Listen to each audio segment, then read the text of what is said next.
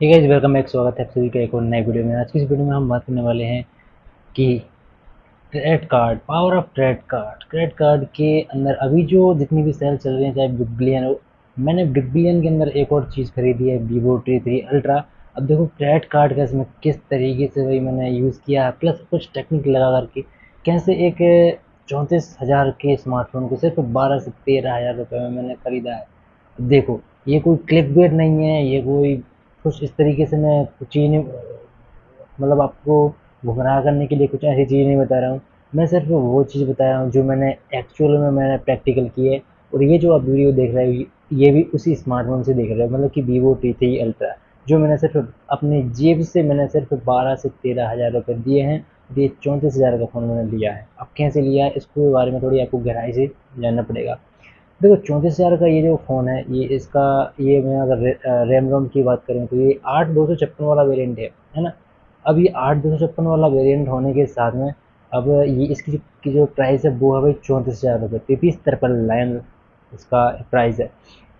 अब इसका प्राइस इतना है, अब मैंने इसको कैसे लिया अभी बारह तेरह हज़ार? वो, ये बहुत बड़ी मतलब आधे से ज़्यादा लोगों ने तो इस थंबनेल को देख करके स्क्रॉल कर दिया होगा, या फिर अभी तक हो सकता है किसी ने गाली लिख दी हो भाई।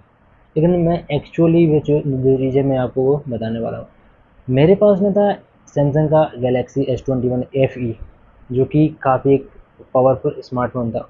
उसे मैंने ट्वेंटी फाइव थाउज़ेंड में लिया था और उसी स्मार्टफ़ोन को मैंने ऑफलाइन मार्केट में अभी ऑनलाइन में मैंने चेक किया था एक्सचेंज में, इसी फ़ोन के साथ में वीवो टी थ्री के लिए मैंने एक्सचेंज में डाला था S twenty one F E को। तो वहाँ पर उसका जो प्राइस था वो आ रहा था बारह हज़ार रुपये, ग्यारह ग्यारह, साढ़े ग्यारह, बारह हज़ार रुपये।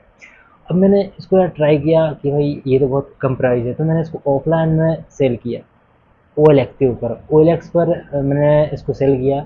मुझे इसका प्राइस मिला अट्ठारह हज़ार रुपये तो भाई अट्ठारह हज़ार रुपये का मुझे को इसके अंदर प्राइस मिला। बाकी जो, अब देखो, अब मुझे ये चौंतीस हज़ार का स्मार्टफ़ोन था। अब भाई मैंने मेरे पास एच डी एफ़ सी का एक क्रेडिट कार्ड था तो एच डी एफ़ सी का क्रेडिट कार्ड लिया तो भाई सत्रह सौ रुपये उसका मुझे डिस्काउंट मिल गया। तो भाई सत्रह सौ माइनस कर दो करीब दो हज़ार के समथिंग आप माइनस कर दो तो उसका भाई प्राइस हो रहा है बत्तीस हज़ार रुपये तो अठारह दस अट्ठाईस और चार हज़ार और मतलब कि अट्ठाईस और दो और प्लस दो। मतलब अठारह दस अट्ठाईस अठारह का हमने वो अपना फ़ोन बेचा। अब यहाँ पर एक ट्रिक खेला क्या ये ट्रिक ये था? कि मैंने एक एक स्मार्टफ़ोन को भाई ख़रीदा, दो हज़ार रुपये का। दो हज़ार रुपये का एक सेकेंड हैंड डिवाइस ख़रीदा।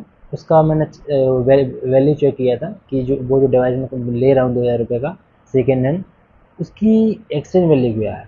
एक्सचेंज वैल्यू उसकी थी ओप्पो एस ओप्पो ए सत्रह मैंने ख़रीदा था सेकेंड हैंड उसकी एक्सचेंज वैल्यू थी साढ़े छः हज़ार। बिग बिलियन के टाइम की बात है। तो साढ़े छः हज़ार का थी तो अब मैंने इसको एक्सचेंज पर डाल दिया। अब जब डिलीवरी हुई तो डिलीवरी के टाइम पर वो कटा भाई चवालीस रुपये अब मैं अब अब अब आप मैंने अब मैंने जो ट्रिक है वो यहीं पर के लिए मैंने लिया दो हज़ार का था और साढ़े चार हज़ार रुपये का मैंने इस फ़ोन को भाई एक्सचेंज में दे दिया। साढ़े चार हज़ार का ये फ़ोन कट गया। तो मुझे यहाँ पर जो बेनिफिट हुआ वो दो से ढाई हज़ार रुपये का। तो देख सकते हो।